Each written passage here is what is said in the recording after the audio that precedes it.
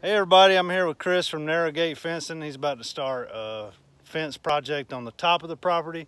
So we're really excited. We're gonna tie it into our gate at our drive and uh, stay tuned and we'll show you some stuff. He does a lot of good work around the area. And uh, Chris, appreciate you coming out. Thank you. Yeah, man. Y'all stay tuned.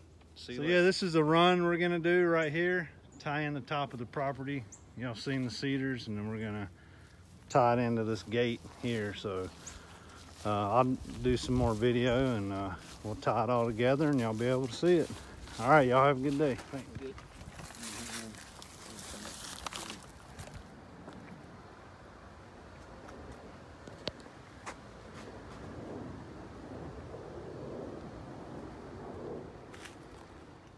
All right, well, they're finished.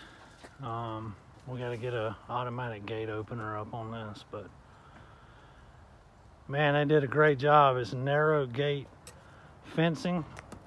If you're in Lincoln County or Gaston County or Mecklenburg County, um, these are the guys, I'm telling you. Johnny on the spot, fair pricing. They did great work, communicated the whole way through and I couldn't be happier. All right, well, I hope you enjoy the video. Subscribe, thumbs up, all that good stuff. And we'll see you later. Take care.